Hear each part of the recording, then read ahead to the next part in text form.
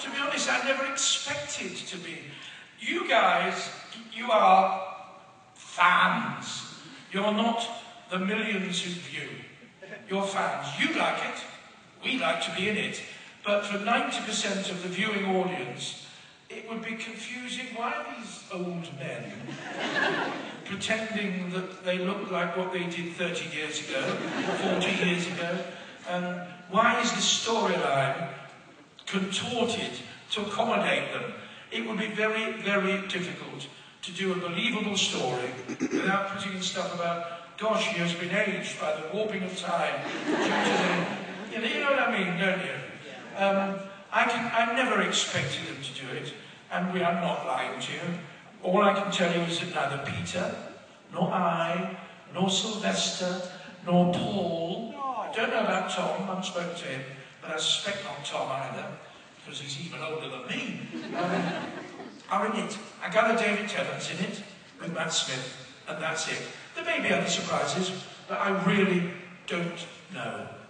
Um, and I, in a way, I'm relieved because the one time someone did try to do a multi-doctor story was in an was it, 1989, something like that?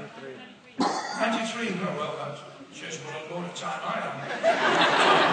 Somebody wrote a script and took it to BBC Worldwide, no, it was called Enterprises then, and they approached us all and asked us if we wanted to do the story. And I was working with Jon Pertwee, um, Sylvester McCoy and Peter Davison at the time. And we all got the script on the same day. And we were filming, uh, remember those Stranger things that came out? We were filming a kind of low budget thing together. It was great fun. Thank you. Um, and we all said, this is ridiculous. It was a story basically for Tom Baker. And they had four-page scenes where each of us got trapped in some vortex. And I had a, a, a scene with, Peter had a scene with the Cybermen, railing at the Cybermen. I can't remember what mine was now. It was just, it was peripheral to the story. And we all said, no, we're not doing that. Because it was a story to be written and then they pegged doctors into it.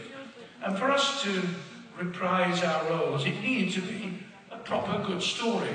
And they knew that Tom would not be wooed back unless he was, you know, heavily favoured.